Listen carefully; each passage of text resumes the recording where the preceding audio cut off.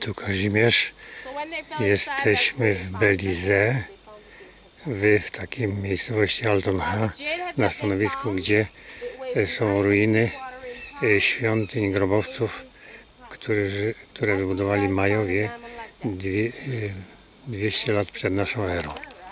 Są odrestaurowane. Tutaj archeolog z Kanady działał 64-71. E, Także e, ta budowla przed nami, konstrukcja jest imponująca. E, Potężna, potężna piramida. Można to nazwać piramidą, może jest grobowiec i tu jest dużo takich mniejszych. Tam są jakieś wy, wyryte napisy. Napisy w języku Majów, starożytnych Majów. E, także potężna konstrukcja. Ja wiem, może ma mieć 50 metrów wysokości.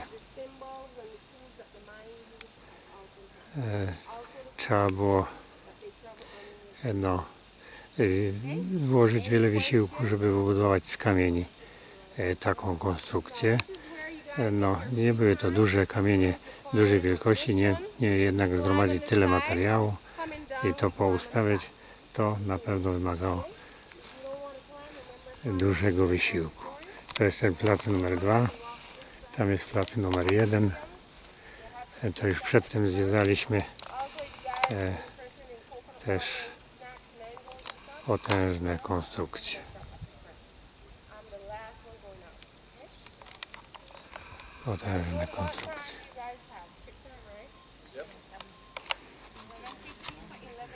Potężne konstrukcje. To na razie tyle, papa, bye bye.